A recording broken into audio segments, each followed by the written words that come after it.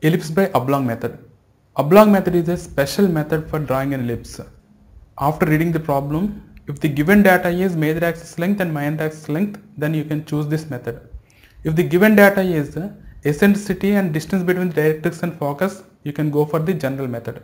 Now let us start drawing the ellipse using the oblong method. First step is draw the major axis with the given length. Call the major axis as AB.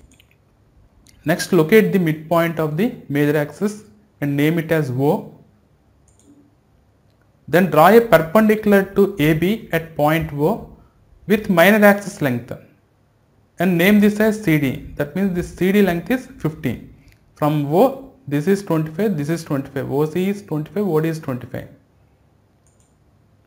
Draw a line parallel to AB passing through C like this. Draw one more line parallel to AB and passing through D like this. Then here draw a line parallel to CD passing through A. Here draw another line parallel to CD passing through B then automatically you will get a rectangle like this. This rectangle length is length of the major axis and width is length of the minor axis. Then these corners you name as EF, GH. Then divide this AE into 4 equal parts. Here to divide this into 4 equal parts you can use the inclined line method.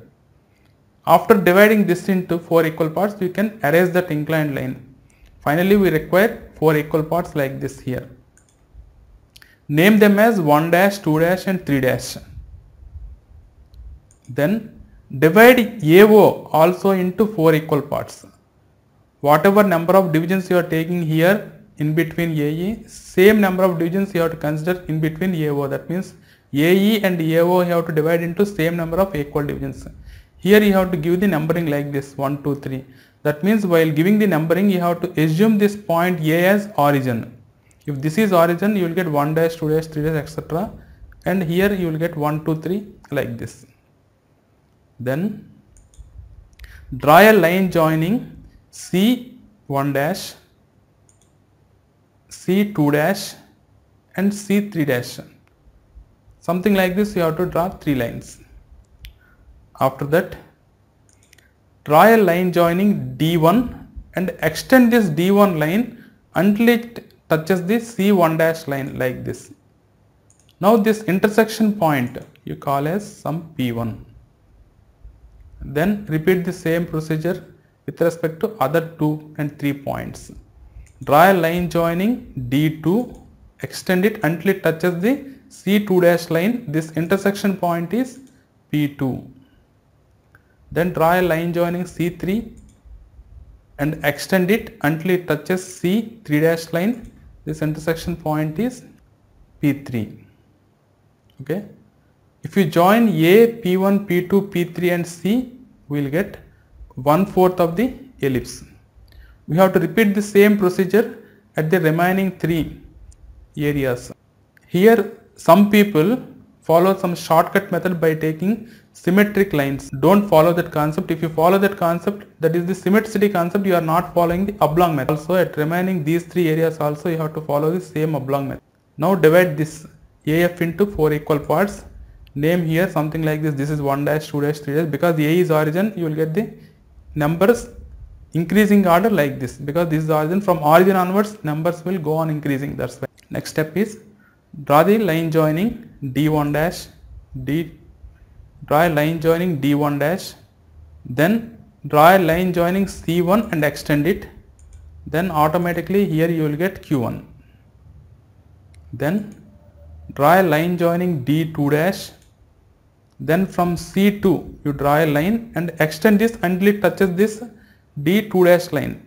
This point is Q2. Then draw a line joining D3 dash. From C3 you draw a line and extend it until it touches this line. This is Q3.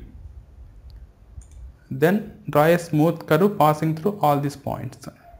Then one half of the ellipse is completed. At this side also you have to follow the same procedure. Now divide this BH into 4 equal parts. Now B is the origin that's why you will get the increasing order of the numbering like this 1 dash, 2 dash, 3 dash.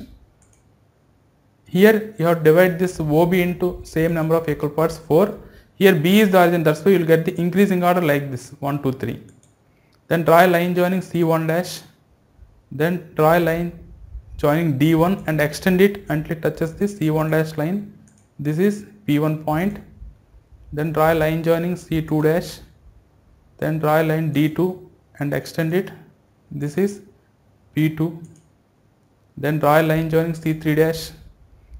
Here D3 line you join and extend it. This is P3 then you will get this portion of the ellipse. Repeat the same procedure here.